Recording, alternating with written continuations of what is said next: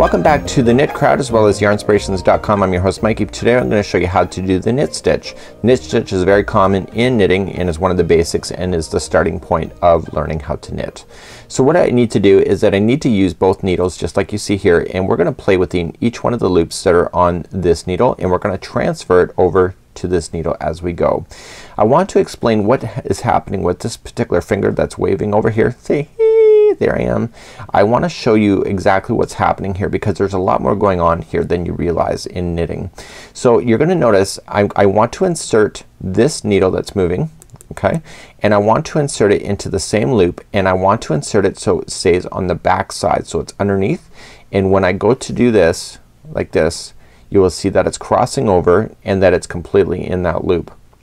So before I knit I use this finger and I stabilize this loop and I just you just happen to do it automatically but the first one I never usually do I just do all the rest of them like that. So all I'm just gonna do is take the other yarn and I'm gonna wrap it over that back needle like this and I'm going to just bring it on through. So there it is on the needle coming through and I got it onto the needle and I transfer it by just sliding that off.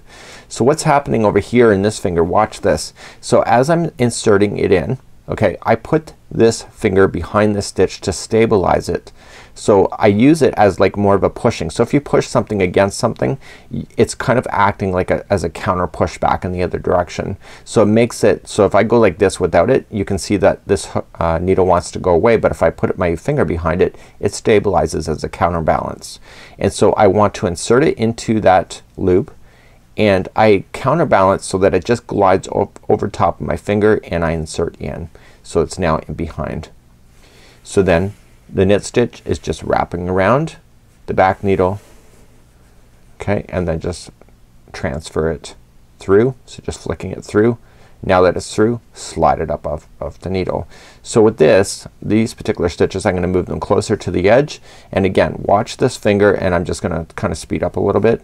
So I'm just gonna stabilize it okay. So I go in and then I wrap the back side like this and then I come forward and slide up.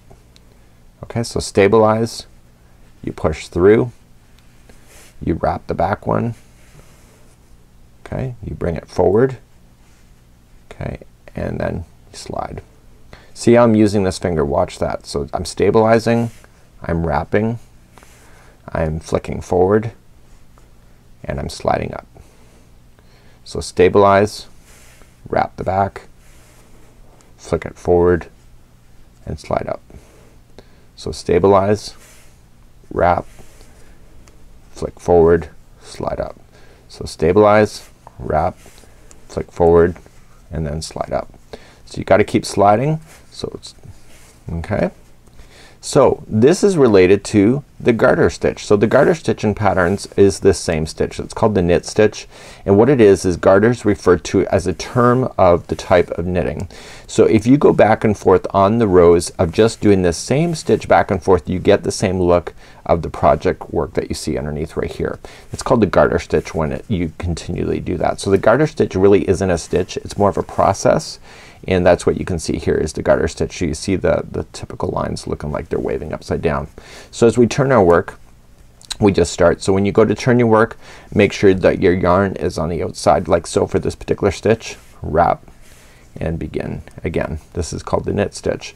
So again back and forth is called the garter stitch when you're going to do that. Okay. So this is how you do the knit stitch. Let me just uh, finish off this row and it's really not that hard once you get used to it. It's just a matter of the motion. I enjoy this uh, particular stitch. It's just really kind of a no-brainer and if you're just gonna go back and forth on the rows which there are a lot of projects like that it's really quite a simple pattern to be able to function with as well.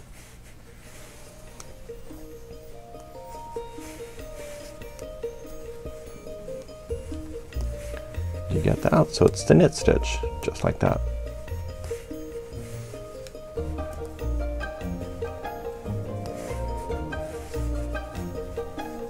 And there you have it. So when you're done with your knit stitch project, you just cast off and we have a tutorial available for that. And this is what it will look like in the end. So until next time, I'm Mikey on behalf of the Knit Crowd as well as yarnspirations.com.